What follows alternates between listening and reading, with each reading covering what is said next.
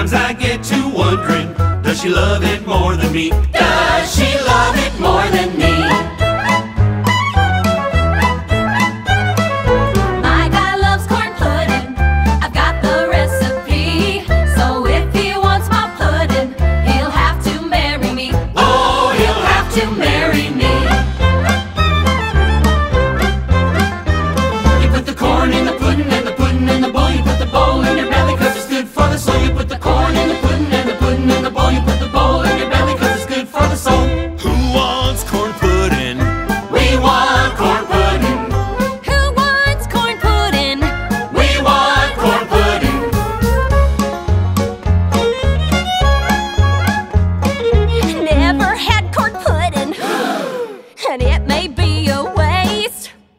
But if you got some extra, extra, I sure would.